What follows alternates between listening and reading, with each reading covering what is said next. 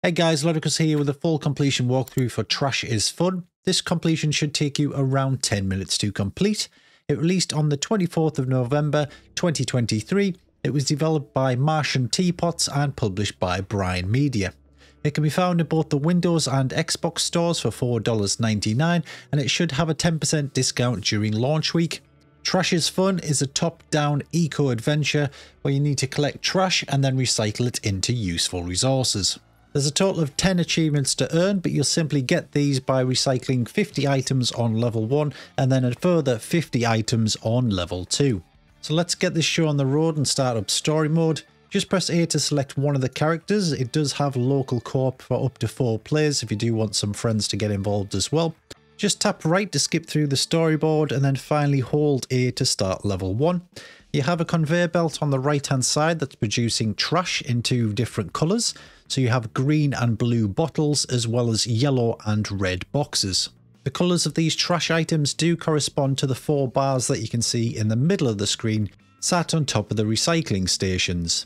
So as I'm putting in the blue bottles and the red boxes, you'll notice that the yellow bars or pips on the bars are going up once you've placed 5 in, you will be able to recycle that item by pressing the corresponding button on the side of the recycler. So I'm just walking up to the conveyor belt on the right hand side, pressing A to pick up a coloured item, and then dropping it onto the conveyor belt by pressing A again. Once you've placed 5 and filled up that yellow bar, you won't be able to place any more on the conveyor belt.